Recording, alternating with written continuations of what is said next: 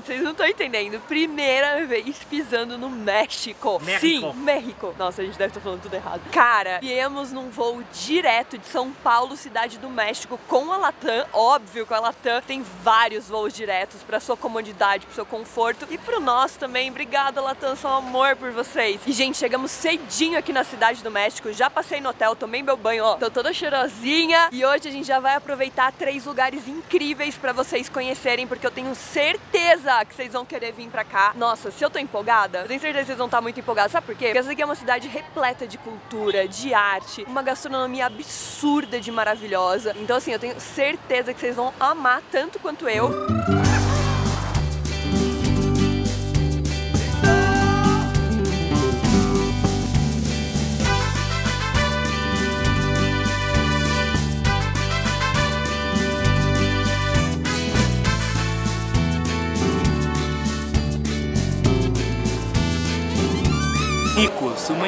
do México, da cidade do México, um restaurante que tem mais de 60 anos e está entre os 50 melhores da América Latina. Eu pedi mescal, ele já veio com um carrinho aqui, ó. Ele falou que me deu esse aqui de cortesia. O mescal é muito bom. E ele já vem com esse nachos, que chama isso, acho que é, né? Nachos é o Doritos do original. Dá medo, porque sempre falam que aqui as coisas são picantes. As comidas mais picantes do mundo. Não, foi muito picante. É a comida mais apimentada do mundo. Ainda não. Vou ver esse outro aqui. Esse é mais suave. Normalmente, o que deixa forte mesmo é o chili habanero, que é o mais usado. Que lugar? Já tô feliz. E o mescal, aperitivo pra abrir o apetite. Esse Esse aqui, é meu, né? Que você já tomou um. esse é defumado. Os últimos, meus amigos, serão os primeiros. Você espera, você sempre se vai dar bem, entendeu? Nem sei se eu tô fazendo certo esse ritual.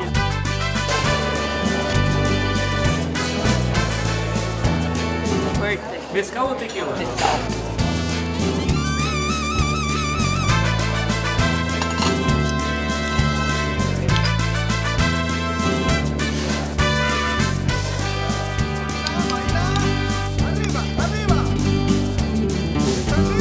Você viu? O guacamole você faz na hora ali. Ele. Olha que bonitinho, hoje vem as tortilhas. Ai, gente, muito amor. Quentinha. Olha a fumacinha. Tô aguando, vocês estão aguando? Aproveita aqui que você tá aguando. Vou colocar uma salsa aqui, ó. Pouquinho apimentado aqui, ó. Molinho surpresa. Melhor que a sua? É que a minha é especial, mas dessa daqui tem um coentro que abre, uns pedacinhos do abacate. Nossa, muito gostoso, muito gostoso mesmo. Paulo tá chamando esse daqui de nachos, mas o nome oficial é totopos e é uma tortilha frita. E nossa, como é bom, hein? Totopo é um nome tão bonitinho. Totopo, totopo. o nome do meu cachorrinho Totô. Nossa, eu vou ter um cachorro chamado Totopo. Vai comer tudo? Se eu não comer, eu vou acabar. Eu sou conteudista, eu quero ver o limite, eu tô muito feliz. Porque o que eu mais gosto é viajar, comer. E o que, que eu tô fazendo? Tô viajando e comendo. Isso daqui é chambarete. E essa é a comida mais picante do mundo. Dizem que é a mais picante daqui, eu não sei se é mais do mundo. Ele é tipo ensopado com carne de vaca, vamos ver aqui. Eu tô meio com medo. Ele tem bem cheiro de carne feita na panela de vaca. Pra mim tá doce.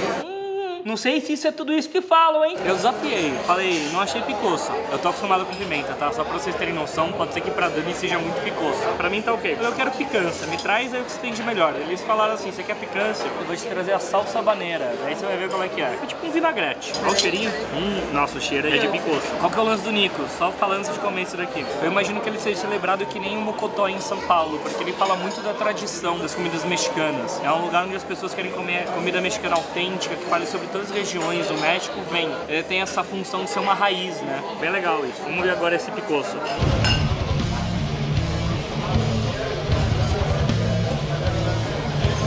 Eu acho que talvez seja o molho mais picante, porque a pimenta te engana. Dá uma duas garfadas e não vem na primeira. Ela vai crescendo de você. Mas se cresceu. É o molho mais picante que eu já comi no mundo.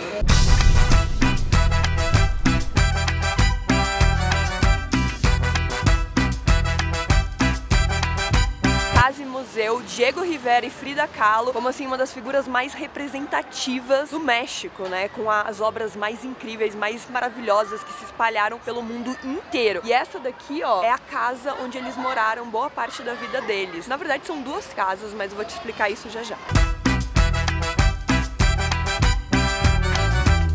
Espetacular entrar na casa, né, onde as pessoas viveram e trabalharam, sendo dois ícones da arte mundial, né, não é nem da arte mexicana. Essa primeira casinha aqui que tá atrás de mim é a casa do Diego Rivera. São três casas. Começou com a do Gorman, que é ali embaixo, que é a última que a gente foi, que era um arquiteto, e ele começou com esse estilo funcionalista, que ele pegou lá do Le Corbusier. E daí em 1931 o Diego Rivera encomendou este projeto aqui. Como que é esse projeto? É uma casa pro Diego Rivera com estúdio, uma ponte que conecta as duas casas e a casa com o estúdio da Frida Kahlo. Então é o mínimo de gasto, de esforço para o máximo de eficiência. Então tem cano aparente, fio aparente, concreto armado, tijolo aparente. Ali no estúdio do Rivera você tem pé direito duplo, né, para entrar bastante luz e para passar pela janela os murais, né. E ainda ele fez alguns murais aqui que ele conseguia transportar e tirar pela janela.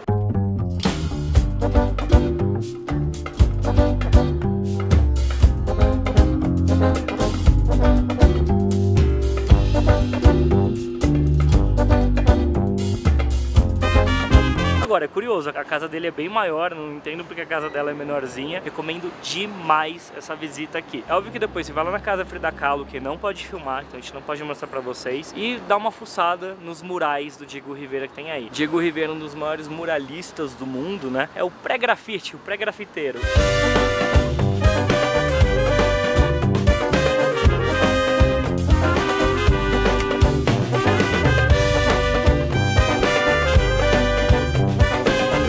Futuro tá vindo aqui nesse vídeo do passado para avisar que eu tô aqui num dos lugares onde tem arte do Diego Rivera. Então aqui no Palácio de Belas Artes você tem dois murais do Diego Rivera. Você tem um famosíssimo que é o Homem no Centro do Mundo, comandando o mundo todo. E não é ele o único muralista do México. Os mexicanos são conhecidos por serem muralistas. Ele é um dos mais conhecidos, mais importante, mais renomado. Mas tem obras do Camarena, do Orozco, do Tamayo. Então dá para entender um pouquinho dessa tradição que normalmente tem a ver com comentários sociais, comentários políticos, né? Sempre são obras muito grandes e que são difíceis de serem transportadas. Então, se você quer ver um lugar muito legal, vem aqui para ver.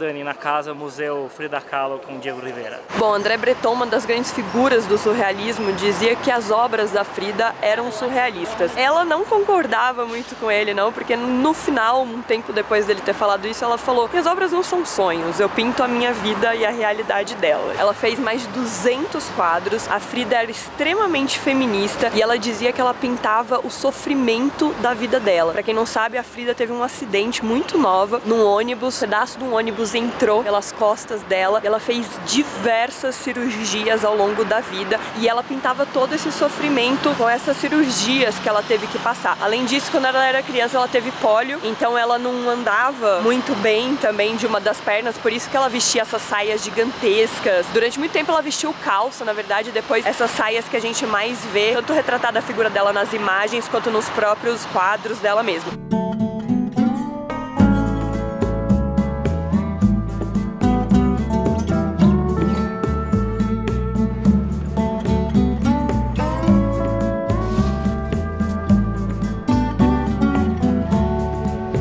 Parte das pinturas dela eram autorretratos, o que parece assim que diz um pouco sobre uma pessoa egóica, mas na verdade eu não sinto isso, porque desde que eu vi assim bastante ali sobre a Frida, o que mais me diz é que ela tinha que passar muito tempo com ela mesma por conta dessas cirurgias que ela passou e tudo mais. Não sei se é verdade, mas dizem que no hospital tinha um espelho em cima da cama dela e que ela ficava se olhando e se autorretratando.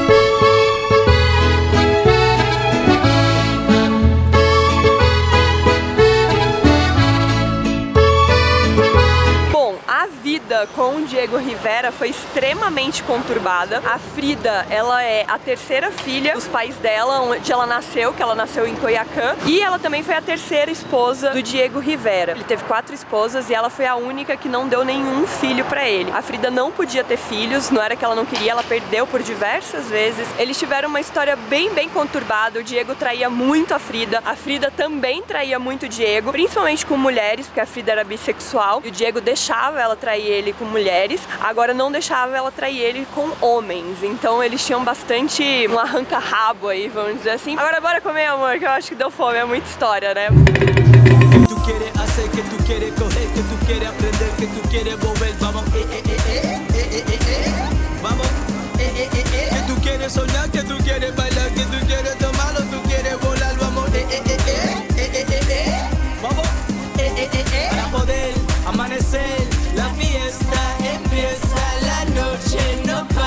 Gente, é muita comida nesse lugar e comida muito boa, muito gostosa. E antes do Paulo ir ali comer um taco, eu quero falar pra vocês que Latam tem a maior malha aérea da América Latina. Eles são a maior companhia da América Latina. E você consegue ir com Latam pra mais de 146 destinos, inclusive aqui pra Cidade do México você vem no voo direto, super confortável, super gostoso, que nem a gente veio pra cá. E volta também pra São Paulo num voo diretaço, é muito conforto, gente. E conseguimos um desconto pra vocês irem pra cá. Então clica no link aqui embaixo que esse desconto só é válido do dia 3 de dezembro por mais dois dias. Então clica no link e vai lá ver que esse desconto é simplesmente imperdível. E agora Paulo vai lá. Vai comer taco, amor? Tô em busca, sabe do que? Do taco perfeito, do sabor perfeito, da pimenta perfeita. Bem assim, ó, pá, falaram que tem aqui uma pimenta que chama pimenta de arbol, que falaram que é fantástica. A gente já rodou pelo mundo vários lugares e eu nunca vi essa pimenta. Então vai ser a primeira vez, sou realmente um grande fã de pimenta. Então vamos atrás. E complementando o que a Dani disse, não é só voo direto pra cidade do México, é voo direto pra várias cidades do mundo também, entre elas a cidade do México. Então já que você tá comigo agora, comigo com a Dani, vamos comer comigo, cheguei, vamos.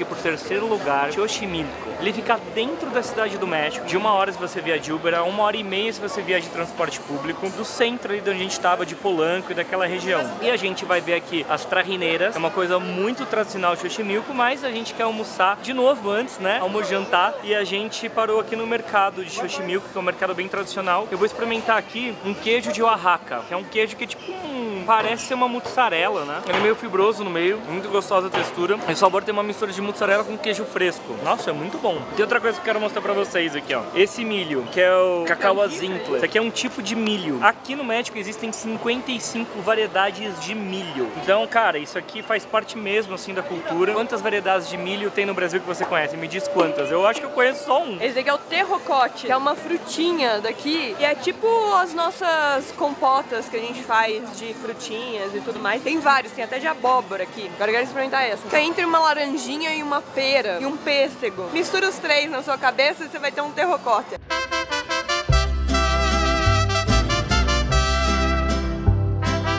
Chicharrón, que é com a pele do porco. Isso aqui pra mim tá entre uma pururuca um torresmo, vamos ver aqui. É um torresmo muito, muito, muito bom, porque tem a parte mais seca, né? Daquela partezinha que a gente gosta mais no Brasil, que tem a gordurinha. Genial, bem salgado, mas é muito bom. E essa banca aqui é tudo de porco, eles têm bastante coisa com porco aqui, eles comem bastante coisa com porco. Então essa aqui é uma das partes, olha como fica. Eu particularmente nunca tinha visto isso, eu achei que era tipo uma alga, alguma coisa. Aqui é o estômago da vaca. É o bucho, né? O famoso bucho, eu nunca tinha visto. O cheiro é... não é forte, né? Não sente cheiro de nada. Aqui tem uma cultura de comer todas as entranhas, as tripas, as coisas não nobres. Me lembra muito como mineiro trata carne, na verdade. Que você aproveita tudo. No Brasil a gente tem essa tradição também. Não necessariamente em São Paulo, no Rio Grande do Centro, mas no interior do Brasil é bem comum.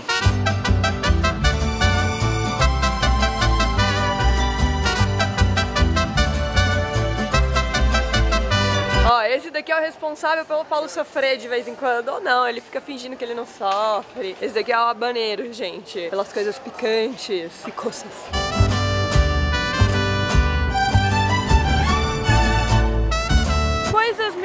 em Xochimilco. Temos um táxi rosa com um negócio dentro do carro. O que será isso? Porta-malas aberto no meio da rua. Não tem ninguém? É carne? É fruta? Não sabemos. Nem Davi sabe o que que é, ó. Sabes, Davi? ¿Qué Es algún tipo de carne, eh, me imagino que es suadero o algo similar, algo ya preparado, pero Suadeiro. Suadeiro. no estoy seguro.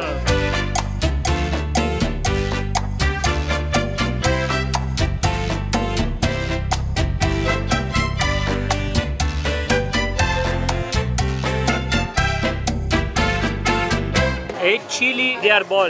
No mercado do lado aqui tem taco com tripa. Eu queria experimentar. E eu coloquei esse chili, ele é de arbol. Chili de arbol que só tem aqui, pelo visto. Eu nunca tinha visto. Então vamos ver tripa, né? Qual que é o sabor de um taco de tripa. É o que vocês viram borbulhando ali branco. É estranho, mas ela deixou bem dourada. Chili é bem forte, bem presente. Não tem gosto forte, achei que ia ter gosto forte de tripa. A textura que pode incomodar um pouco o paladar. Porque tem algumas partes que ela é um pouco chicletinha, mas como ela deixou bem dourada, algumas partes ficaram crocantes. Então tem uma mistura boa. A salsa, o coentro, a cebolinha com a tripa. É muito bom. Eu tô impressionado. Se você quiser ver outros episódios, a gente vai comparar tacos aqui. Tacos caros com tacos de rua. Daí você vai saber mais. Muito bom. Esse daqui é um taco de huitlacoche. Esse negócio aqui é um fungo que dá no milho. E ele cada vez está desaparecendo mais porque ele dá em espécie nativa, né? Então cada vez mais você tem mais plantação transgênica, vai ficando mais caro. É estranho comer um fungo de milho, né? Mano, ele é bem docinho, ele tem gosto de milho. A aparência dele é bem estranho. A gente vai meter aqui a salsa de porque quando você tem, eles têm muito sabor que eles levam pro doce aqui. Daí você mete o habaneiro, o arbolo, o que, que você quiser. Ele vai dar contraposição de acidez e um pouco de picância, né? Ele fica mais interessante. E vem com os milhos e esse milho dá uma textura, muito bom.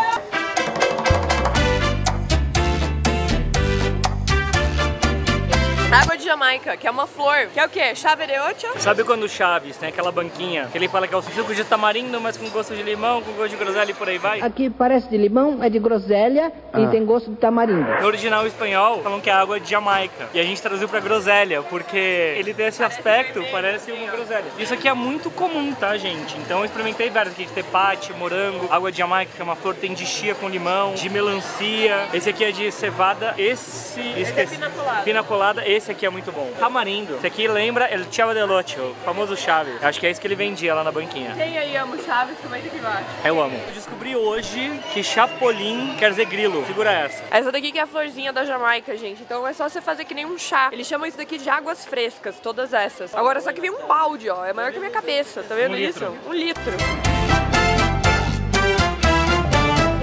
Chapolim colorado? Ándele. Terminando esse vídeo em grande estilo, se você gostou, você deixa seu like aqui embaixo e comenta pra mim, Latam, comenta aqui embaixo, Latam, porque Latam, gente, só amor, com esse desconto maravilhoso que eles vão dar pra você, clica aqui, ó, clica aqui no link pra você ver o desconto e vir pra Cidade do México, essa cidade maravilhosa. E ainda temos muitos programas por aqui, então fica ligado, toda terça, quinta e domingo tem vídeo novo no canal, vem aqui dar uma olhada. Tchau, amo vocês, beijo!